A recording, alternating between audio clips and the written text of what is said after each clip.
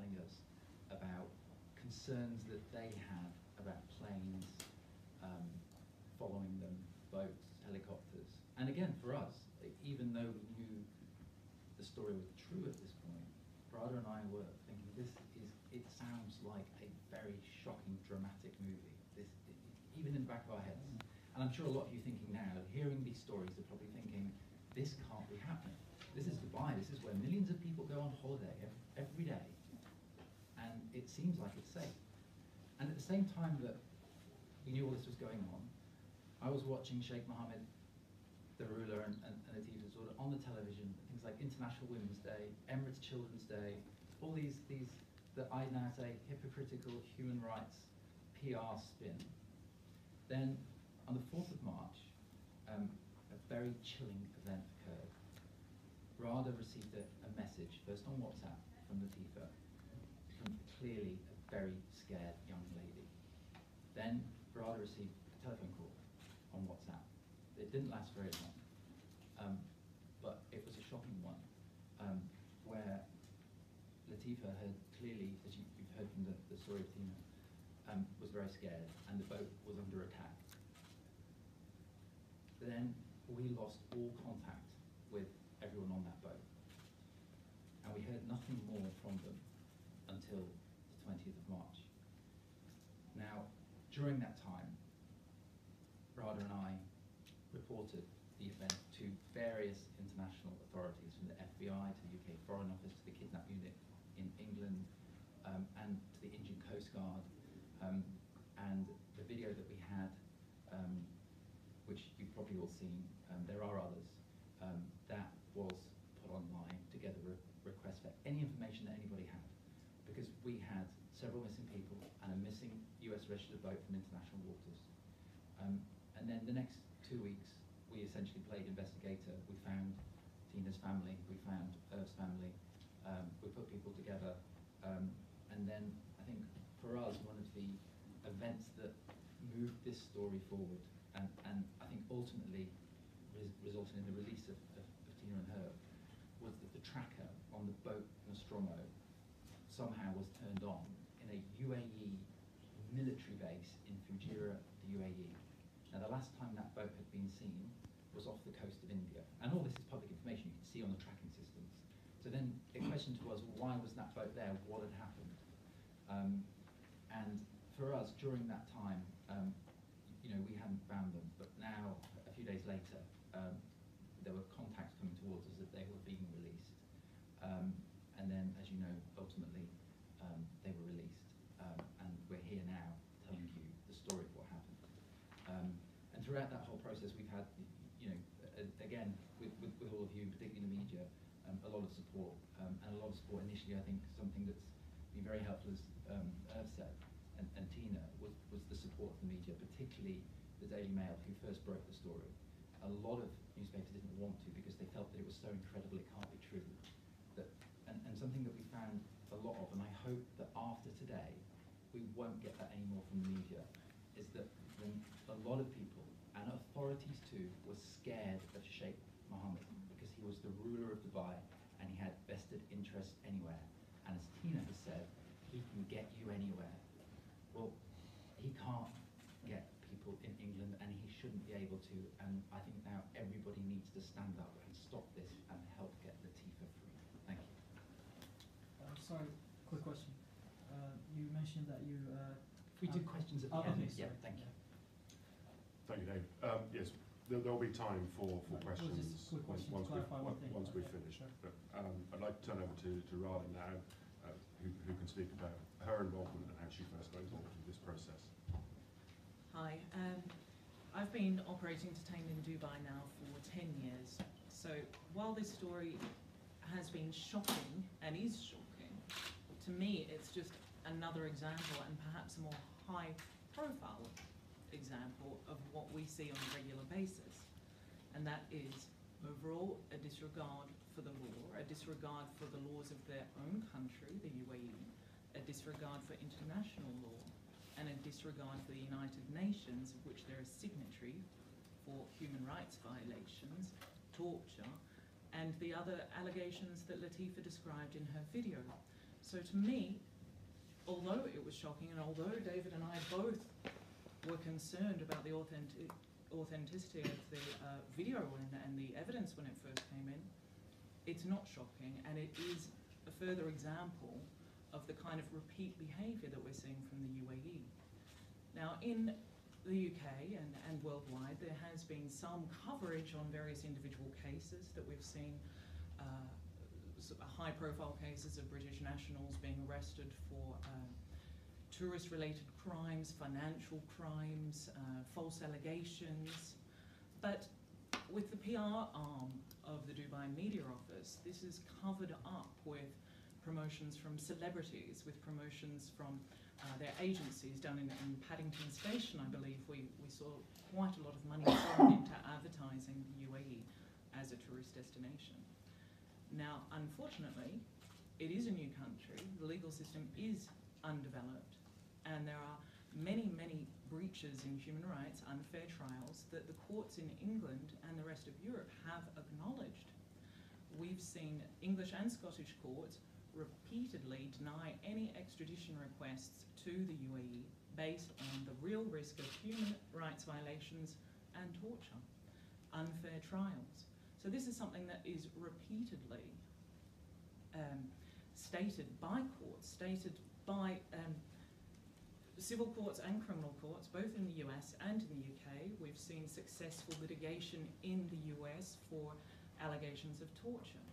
There have been numerous cases, my, my colleague David included, who have actually taken these torture cases to the United Nations for rulings.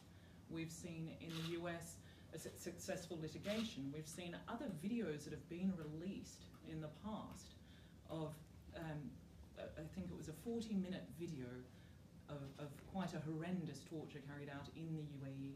And um, the UAE standard response to this, or their, their press response to this, was, well, it's not a, it's not a pattern of behaviour. Well, I believe it is a pattern, and I think that the press is now coming to see that it's a pattern. We have, uh, David and myself, we have lobbied the uh, UK government and the US government, the Australian government, and, and all of the other European countries who have strong ties with the UAE. We've lobbied them to increase their warnings to citizens because it's simply not a safe country. It is the, the UAE is the most likely country for British people to be arrested abroad.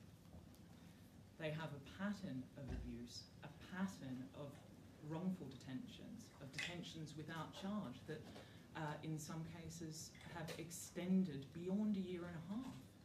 And only when the press gets involved and highlights this situation have these cases been resolved.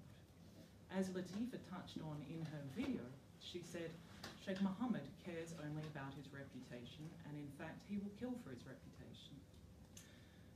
When we saw that video, it was congruent with all of our 10 years of experience that injustice will happen in the UAE, that torture will happen in the UAE, unless perhaps it goes to press. And then, only then, will the government step in and intervene in a case, just for PR purposes. And that was clearly evidenced with the recent cases of Billy Barclay and Jamie Harron. As soon as Billy Barclay's case went to press, within 24 hours, the, the tourism board got involved and ensured that he was out of the country safely. And with Jamie Harron, as soon as the press got involved, Sheikh Mohammed himself intervened in a case injustice. Now, think of all of the people who don't have access to raise their cases. We still have hundreds of, of citizens that we're dealing with on a daily basis. We have wrongful detentions right now, people languishing in the prisons without charge, and, uh, and people claiming that they're being tortured. And yet, the British government has not warned citizens of the serious risk of having a run in, essentially, with the legal system in the UAE.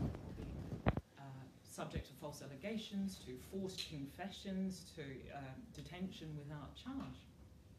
So now we're calling on this case to be used as confirmation, further confirmation of what we already know and what has already been reported, but is something that the governments of the world need to act on now. The UAE should not be able to get away with treating foreigners like this when they, and even local Emiratis experience the same problems within their judicial system. There certainly need to be some improvements before we can ever recommend that uh, our, our citizens actually travel there. If it's the most likely country for British people to be arrested abroad, something needs to be investigated. We've had a death in custody there, Lee Bradley Brown. Uh, this is this is several years ago now. Now the British courts asked the UAE to contribute their evidence uh, into the inquiry of the reports of police brutality that led to his death. The UAE remained uncooperative.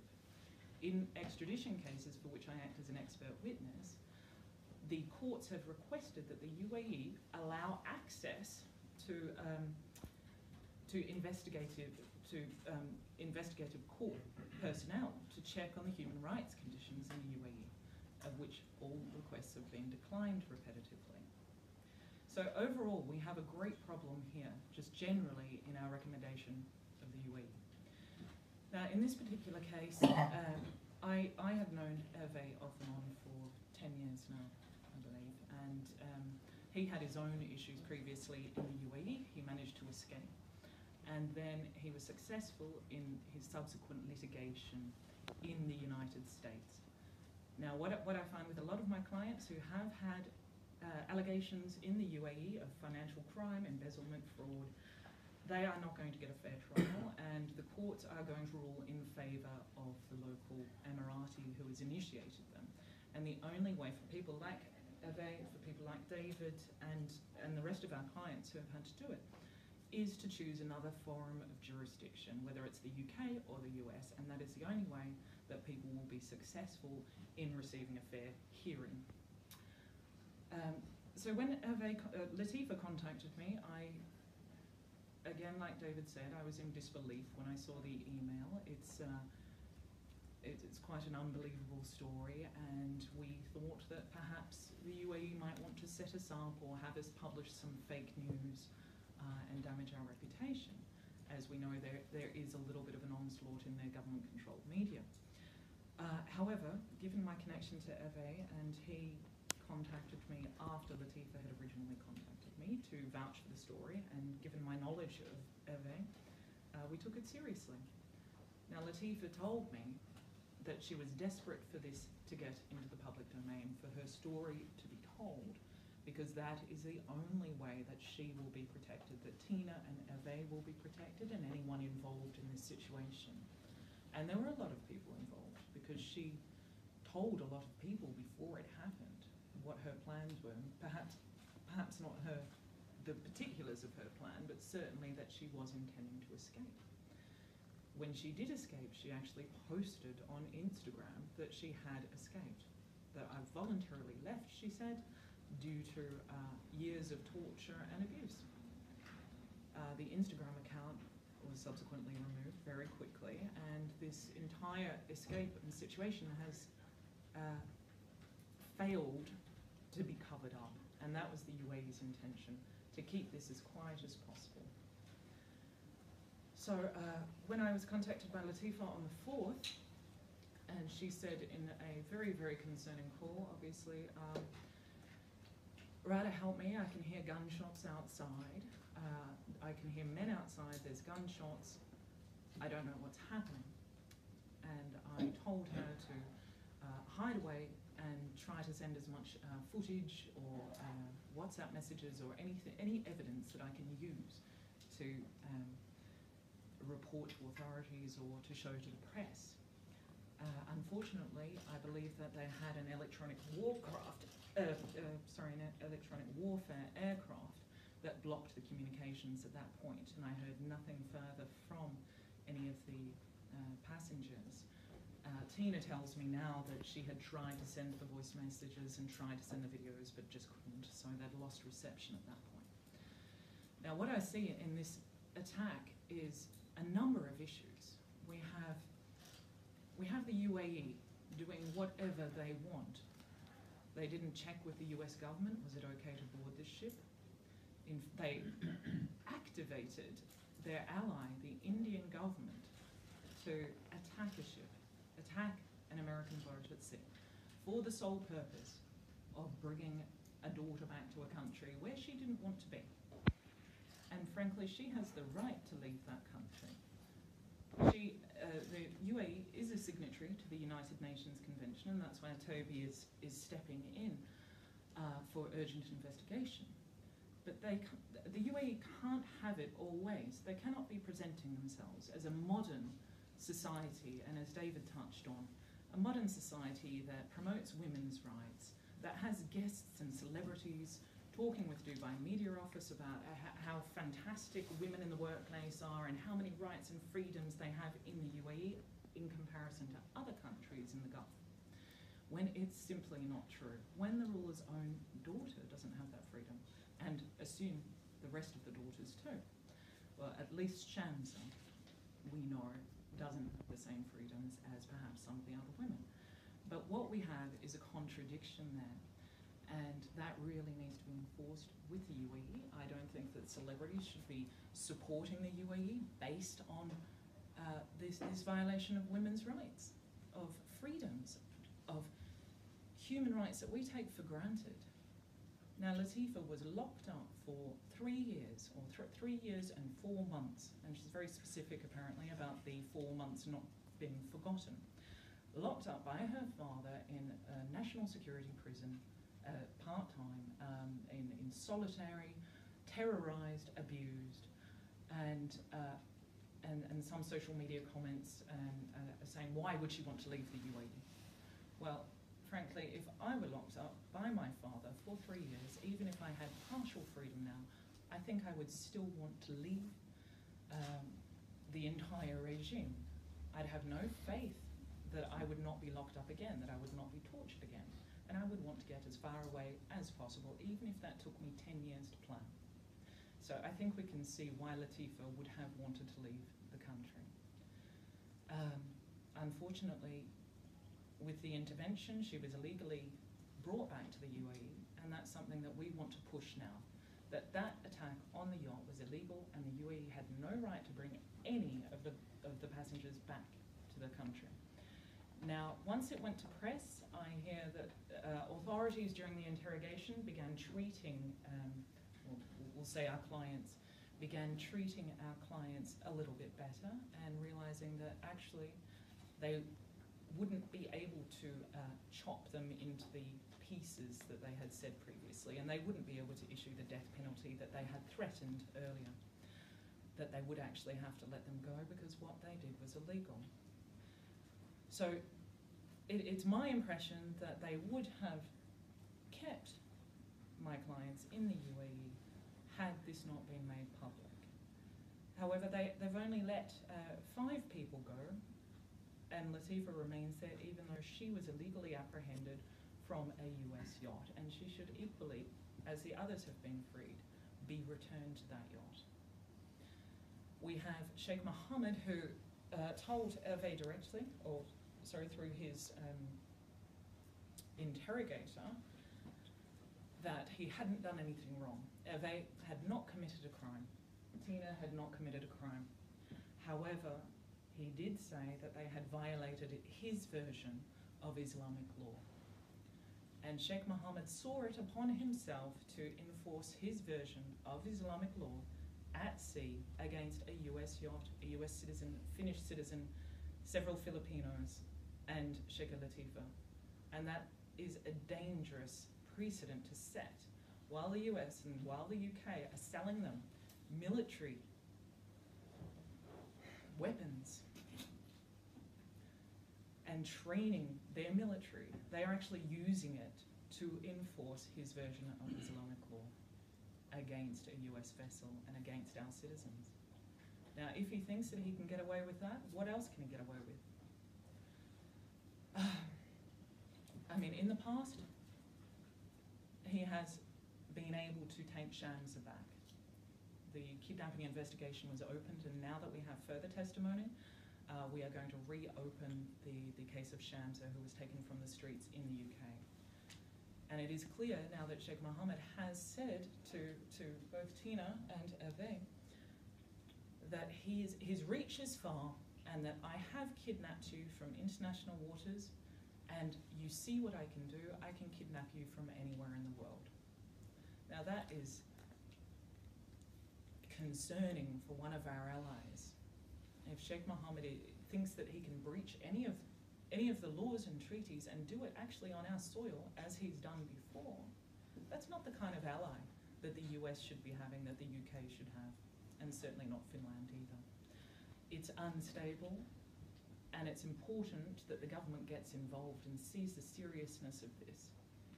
If he is able to do this, and if he goes unpunished or unsanctioned, and we simply turn a blind eye to it, it sends a terrible message, not only to the UAE, but to any other country who wants to enforce their version of whatever law or belief, whether it be Islamic or other.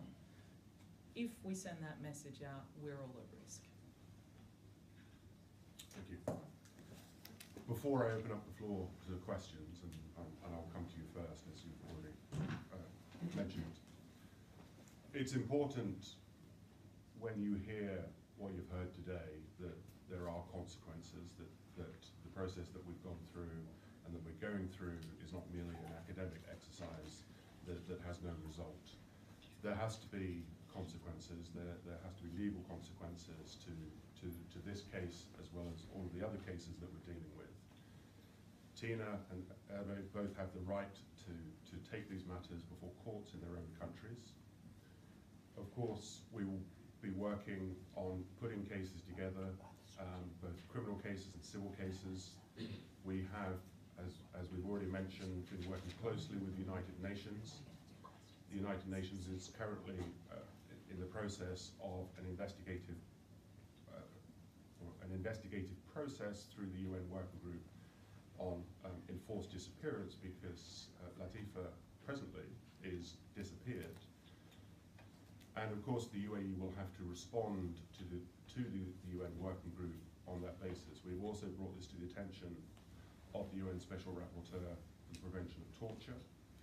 And as, as Radha has mentioned, there are a number of international treaties and conventions that the UAE has signed up to, uh, which it is, is flagged uh, we've heard about torture, we've heard about arbitrary detention, we've heard about abductions, and we've heard about the, the, the very questionable fair trial process. Now, we will be working on these cases actively, and we will be in a, in a position to update you um, in due course as those cases are developed. We will be speaking to the authorities in this country, SO15, which is the counter-terrorism branch of the Metropolitan Police. Uh, there, there is particular jurisdiction in this country for any individual, not necessarily a national of this country, who is the victim of torture, to file a complaint with us